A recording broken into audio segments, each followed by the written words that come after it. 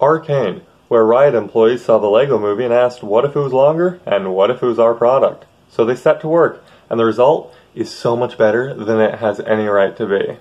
We open up on the border bridge between Techbro Metropolis Piltover and the garbage poor person no good crime caves of Zaun. Here, two gap-toothed gals lament the loss of their loved ones, and the sight of a little girl crying over her dead mother makes Big Tony give up his violent ways, which I mean fair.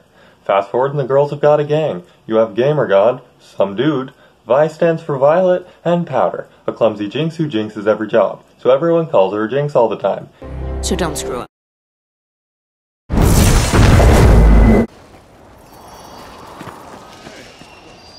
Shit. You dumb jinx. Anyway, the Happy Flower friends rob a science house and outrun the cops, where they then find out Vi stands for vicious when they get jumped in an alley. Powder eats almost all the stolen goods because she feels like it, and then the girls watch Guy pee.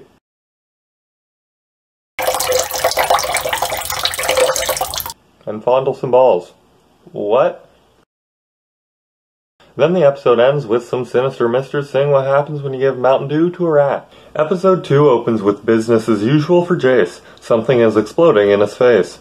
As he passes out, he remembers when he was a child, lost and starving in a frozen tundra, and some guy walked up and showed him a shiny rock, then walked away. Jayce thinks that guy and his rocks were pretty cool. Anyway, Sassy Science boy's mean to Jayce. Be careful with that, please. I believe someone should have said that earlier. Turns out what the kid stole was illegal science that Jayce was working on. Cops find out about his illegal science, and he goes to trial, where his mom says he's a dumb, stupid idiot, and he loses his scholarship. Meanwhile, in Zaun, while the police were searching everyone for the stolen goods, Powder apparently thought she should keep their remaining loot on her person. This somehow backfires. Also, no one cares about fire apparently. Yeah, I don't get it either. Meanwhile, meanwhile, Silco sees what happens when you give Mountain Dew to a human. Yummy.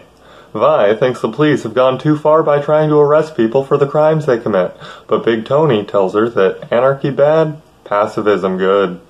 Jayce decides being dead is better than being poor, but Sassy Science Boy saves the day by being mean to him again.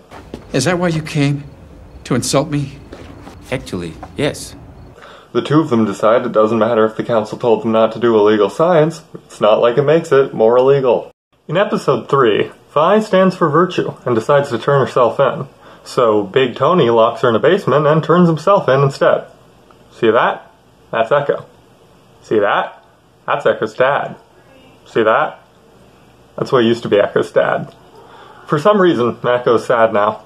But if you thought a measly couple of people dying was sad, just wait for the really sad part, where time slows and violins kick in to tell you this is the dramatic climax of the scene. You ready?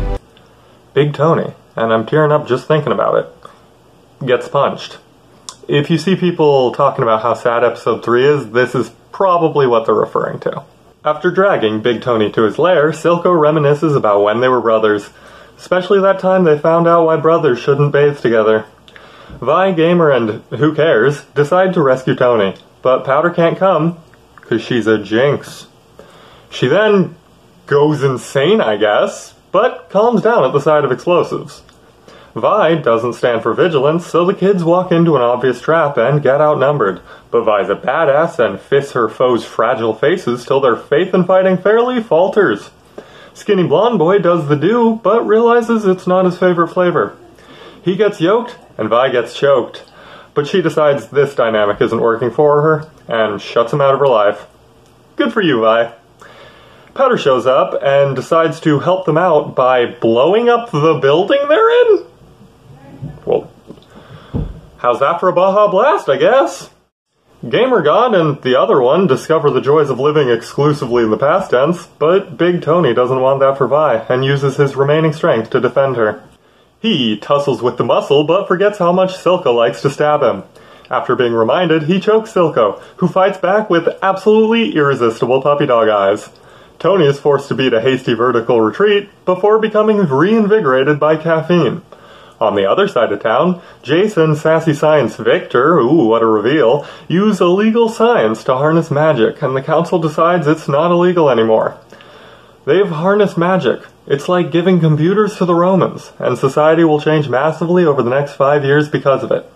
Anyway, who cares? Where were we? Big Tony becomes Bigger Tony. He grabs Vi and jumps out the building to safety. But the bigger they are, the dumber this joke is. Vi stands for vitality and survives the fall. But when Powder comes in going, wee yay hooray, I killed all our friends, Vi actually stands for vitriol and is not very thankful for some reason. Vi then gets kidnapped by the police and Powder hugs Silco because in her time of need, he was the only one who helped her kill all her friends. And that's the end of the first set of episodes. Please like and please subscribe to see parts 2 and 3.